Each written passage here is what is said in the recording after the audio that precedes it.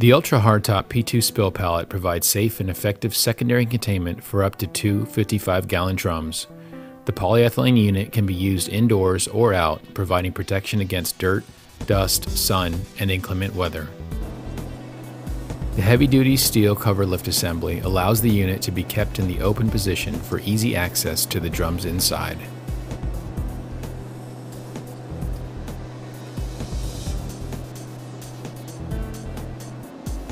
Removable grating allows for quick and easy access for cleanup or inspection. Pins on either side of the unit can be quickly removed, allowing the hardtop to be pushed back and providing for completely unobstructed access to the drums inside.